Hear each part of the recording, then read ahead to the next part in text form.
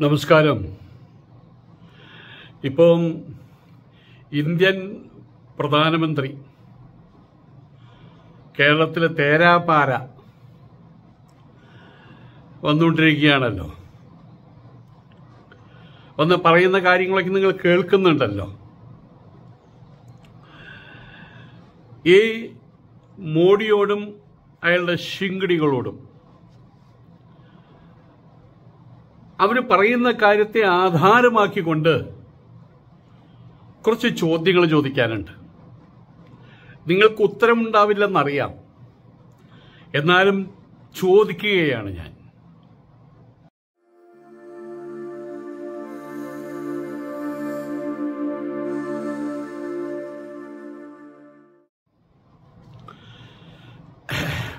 നരേന്ദ്രമോദി ഇപ്പം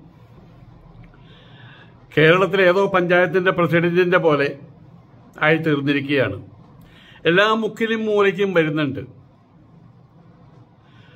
ഇതിനു മുമ്പ് ഇവിടെ പ്രധാനമന്ത്രിമാരുണ്ടായിരുന്നു ഇതിനു മുമ്പ് ഇലക്ഷനും ഉണ്ടായിരുന്നു.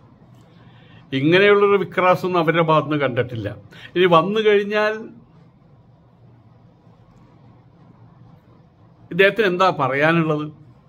അദ്ദേഹത്തിനൊന്നും പറയാനില്ല. പറയാനുള്ളത് ഇടത് സർക്കാരുകളും വലത് സർക്കാരുകളും. കോൺഗ്രസ് സർക്കാർ കമ്മ്യൂണിസ്റ്റ് സർക്കാർ. ഇവർ ഈ രാജ്യത്തെ അഥവാ കേരളത്തെ കേരളത്തിലെ കുട്ടിച്ചോറാക്കി. സർവത്ര അഴിമതിയാണ്. നമുക്കിതൊന്നുമില്ല കേട്ടോ ബി ജെ പിക്കാർക്കും സംഘപരിവാരത്തിനും കേന്ദ്ര ഗവൺമെന്റിനും കേട്ടോ ഇവിടെ ആകെ കൊള്ളയടിച്ചു. തൊഴിലില്ലായ്മ വർദ്ധിച്ചു വർദ്ധിച്ചു വർദ്ധിച്ച് അതിന്റെ പീക്ക് ലെവലിലെത്തി കോളേജിൽ കുട്ടികൾക്ക് പഠിക്കാൻ പോകാൻ പറ്റുന്നില്ല ഭീകരാവസ്ഥ. കേരളം ഒരു സോമാലിയ. പട്ടിണിയും പരിവട്ടവും. ഹേ മോഡിജി താമസിച്ചു സമ്മതിച്ചു. നിങ്ങൾ പറയുന്നതെല്ലാം സമ്മതിച്ചു.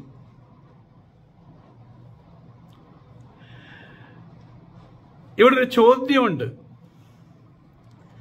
ഇങ്ങനെയുള്ള ഈ നശിച്ച കേരളത്തിലേക്ക് കുത്തൊഴുക്കാണ് കുത്തൊഴുക്ക്. നിങ്ങളുടെ ഹിന്ദി മേഖലയുണ്ടല്ലോ. ഹിന്ദി മേഖല നിങ്ങളുടെ സ്വന്തം ഇന്ത്യ. ആ ഇന്ത്യയിൽ നിന്ന് കുത്തൊഴു കുത്തൊഴുക്കാണ് ഇവിടേക്ക്. സർവത്ര ബംഗാളികൾ ബംഗാളികൾ എന്നുള്ള പേരേ ഉള്ളൂ. രാജസ്ഥാനികളുണ്ട്. നിങ്ങളുടെ സ്വന്തം ഭൂമിയിലെ സ്വർഗം എന്നൊന്നുണ്ടെങ്കിൽ നിങ്ങൾ പറയുന്നത് ഗുജറാത്തിൽ നിന്നല്ല ഗുജറാത്തിൽ നിന്ന് ആൾക്കാരുണ്ട്. ബംഗാളിൽ നിന്നുണ്ട് ഉത്തർപ്രദേശിൽ നിന്നുണ്ട് ബീഹാറിൽ നിന്ന്. ഞങ്ങളെല്ലാവരും ബംഗാളികൾ എന്ന് പറയുന്നു എന്ന് മാത്രം. നിങ്ങളുടെ ഹിന്ദി ബെൽറ്റിലെ നിങ്ങളുടെ ഇന്ത്യയിലെ ആളുകൾ അതിലെല്ലാവരും ഉണ്ട്. ഒറീസ അടക്കം എല്ലാവരും ഉണ്ട്. ജനറലൈസ് ചെയ്യുന്ന സമയത്ത് നമ്മൾ സാമാന്യമായിട്ട് തന്നെ ബംഗാളികൾ എന്ന് പറയുന്നു എന്ന് മാത്രം. ഇവരെന്തിനാണ് കേരളത്തിൽ ജില്ലാ കളക്ടർമാരായിട്ടല്ലല്ലോ വരുന്ന കൂലിവേല ഹോട്ടലിലെ തൊഴിൽ ക്ലീനിങ് മേഖല അവിടേക്കൊക്കെയാണല്ലോ വരുന്നത്? ആയിരക്കണക്കിന് കിലോമീറ്റർ താണ്ടിയാണ് അവർ വരുന്നത്. ലക്ഷ്യം കേരള. ഹേ മോഡി ഇതെന്താ ഇങ്ങനെ? ഏ? ഉത്തരം പറയാൻ പറ്റുമോ നിങ്ങളുടെ അതിവികസിത നിങ്ങൾ അതാണല്ലോ പറയുന്നത് അതിവികസിത. ഉത്തർ മേ ദേക്കോ ഉത്തർപ്രദേശ് മേ ഗുജറാത്ത് മേ ദേക്കോ അവിടേക്ക് നിങ്ങൾ ഏകദേശം സർഗഭൂമിയാക്കി മാറ്റിയിട്ടുണ്ട്. അത് ഞങ്ങൾ അറിയുന്നുണ്ട്.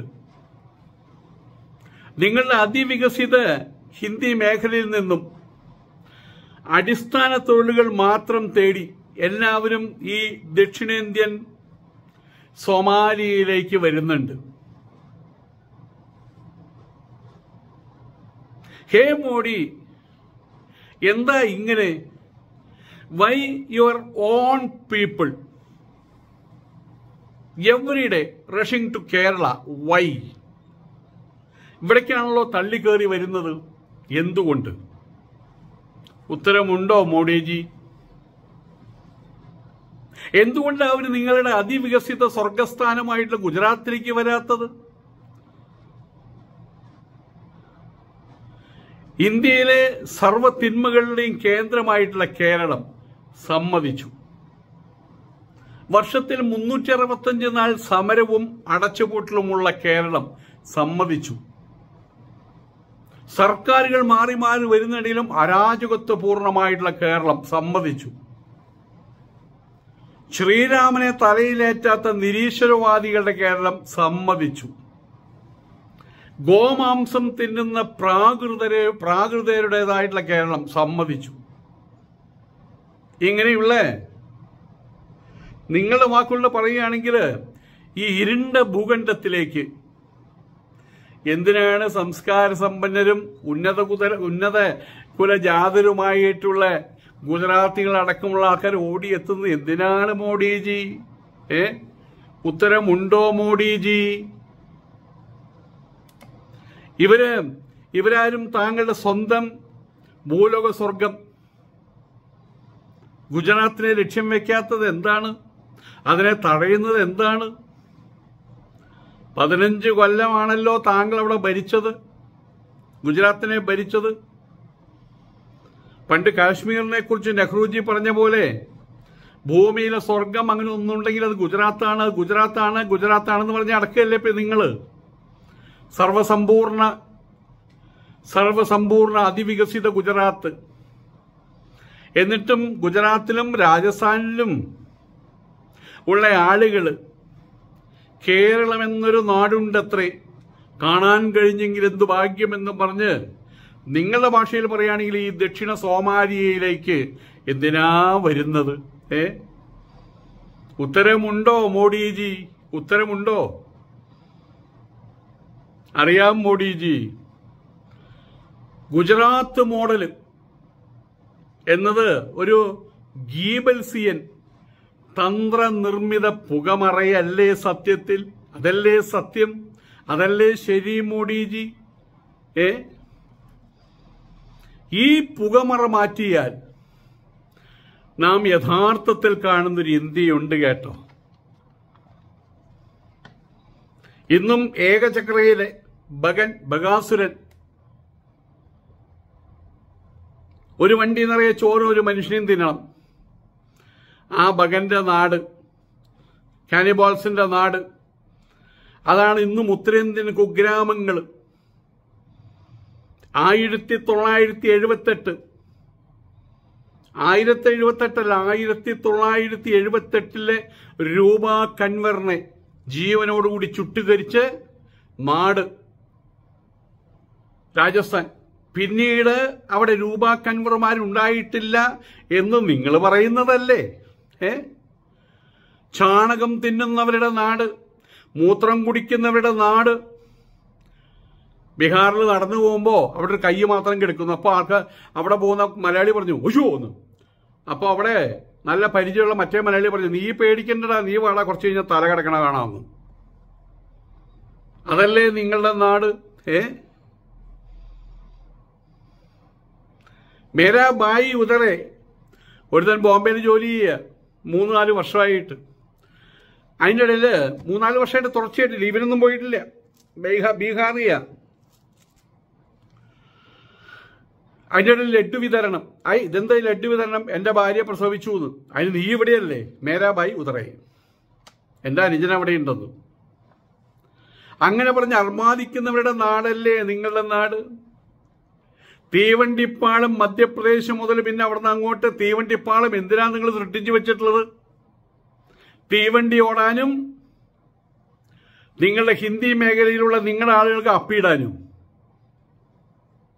വിസർജനം എന്നൊരു വാക്ക് ഡിക്ഷണറിയിലുള്ളത് എനിക്കറിയാം. എന്നാലും സുഖം അപ്പിടാൻ തൂറാൻ. അതിനുണ്ടാക്കിയിട്ടില്ലേ നിങ്ങളത്? ഹിന്ദി പ്രദേശത്തുള്ള ആളുകൾ വി ഐ പികളായിട്ടുള്ള ആളുകൾ വരുമ്പോൾ ഗുജറാത്തിലേക്ക് കൊണ്ടുപോയാൽ നിങ്ങൾക്ക് സന്തോഷമാവുള്ളൂ പക്ഷെ പോകുന്നിടത്തെല്ലാം കർട്ടനിട്ട് പച്ച കർട്ടനിട്ട് മറക്കിയല്ലേ നിങ്ങൾ നിങ്ങളുടെ ദേശത്തെ? എന്നാൽ കേരളമോ? എന്നാൽ കേരളമോ? ഇവിടെ ലിറ്ററസി സാക്ഷരത തൊണ്ണൂറ്റിയാറ് ശതമാനമാണ്. ആവറേജ് പുരുഷന്മാർക്ക് തൊണ്ണൂറ്റെട്ട് ശതമാനമാണ്. വീട് പണിയുന്നതിന് മുൻപ്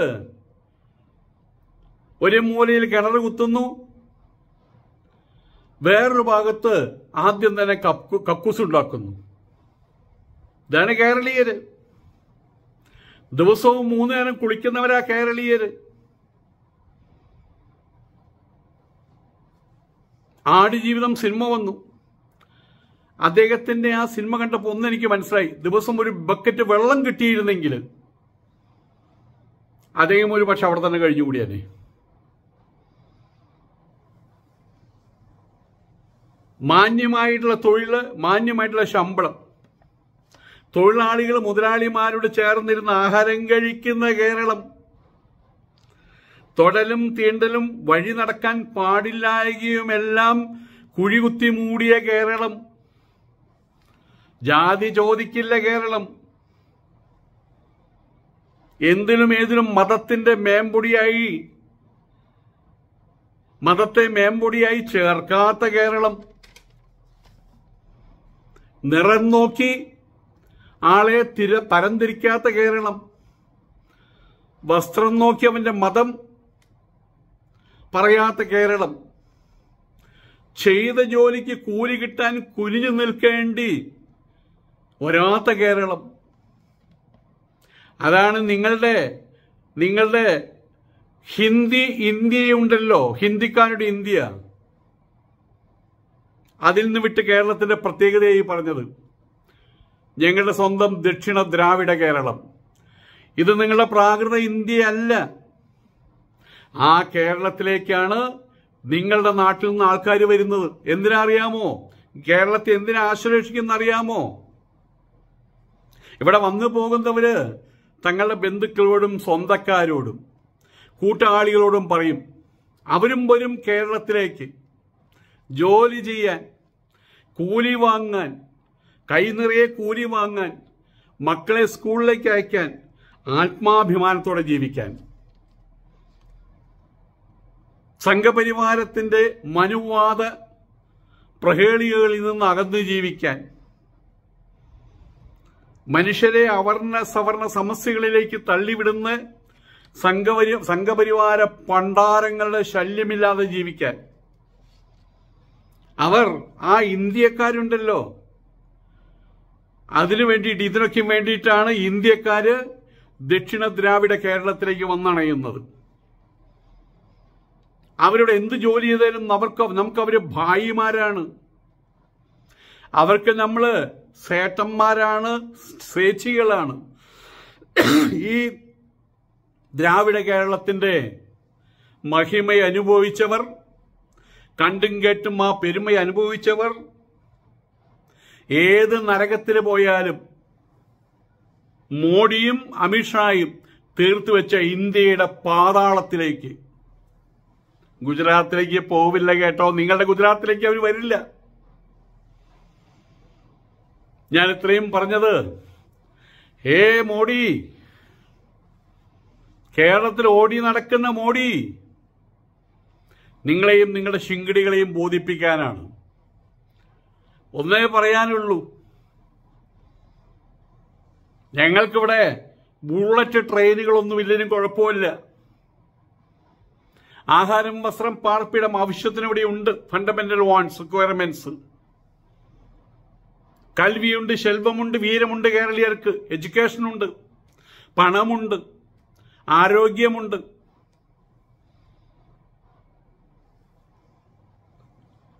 ഇവിടെ നിങ്ങളോട് ഇനിയും ഇതിന്റെ മേലെ വിമാനത്താവളങ്ങൾ ബുള്ളറ്റ് ട്രെയിനുകൾ ഇതൊന്നും തന്നില്ലെങ്കിലും കുഴപ്പമില്ല. നിങ്ങൾ ഒന്ന് ചെയ്താൽ മതി. ഒന്നും ചെയ്യാതിരുന്നാൽ മതി. നിങ്ങൾ ഇവിടേക്ക് വരാതിരുന്നാൽ മതി. നിങ്ങൾ ഇവിടേക്ക് വരാതിരുന്നാൽ മതി. നിങ്ങൾ കേരളത്തിലേക്ക് വരേണ്ടതില്ല. സഖ്യസാനുശ്രുതി ചേർത്തു വെച്ച് മണിവീണയാണ് എന്റെ കേരളം. അവിടെ സമത്വത്തിന്റെ സംഗീതമുണ്ട്. മധുര മധുര സംഗീതം. അവിടെ എപ്പോഴും കേളി കൊട്ടുവരുന്നുണ്ട് സമാധാനത്തിന്റെ സൗഭദ്രനാഥം. താങ്കൾ ഈ കേരളത്തിലേക്ക് ഇനി വരരുത്. ഇവിടെ നിങ്ങൾ കലക്കരുത്. ഇതിനെ ഈ മാനസ സരോവരത്തെ ഒരു ചളിക്കുളമാക്കി മാറ്റരുത്. നിങ്ങളുടെ ലക്ഷ്യം അതാണ്. ഇതിനെ ചളിക്കുളമാക്കി ചണ്ടിക്കുളമാക്കി താമര വിരിയിക്കണം. മാനസ സരോവരത്തിൽ ശുദ്ധജല തടാകത്തിൽ താമര വിരിയില്ലല്ലോ. ചളിക്കുളമാക്കി ചണ്ടിക്കുളമാക്കി താമര വിരിയിക്കാൻ നിങ്ങൾക്ക് നിങ്ങളുടെ സ്വന്തം ഇന്ത്യയുണ്ടല്ലോ. ഹിന്ദിക്കാരുടെ ഇന്ത്യ. അവരേതാണ്ടൊരു പരുവമാക്കി മാറ്റിയിട്ടുണ്ടല്ലോ. അതുപോലെ കേരളത്തിലെ ദയവ് ചെയ്ത് നിങ്ങൾ മതഭ്രാന്തിന്റെയും ജാതിഭ്രാന്തിന്റെയും തൊട്ടുകൂടായ്മയുടെയും തീണ്ടിക്കൂടായ്മയുടെയും ചണ്ടിക്കുളമാക്കി മാറ്റരുത്. ചളിക്കുളമാക്കി മാറ്റരുത്. ഹേ മോഡിജി ദയവ് ചെയ്തൊരു കാര്യം മാത്രം ചെയ്യുക. മുമ്പ് പറഞ്ഞ കാര്യം ഇങ്ങോട്ട് വരാതിരിക്കുക. ഇങ്ങോട്ട് വരാതിരിക്കുക.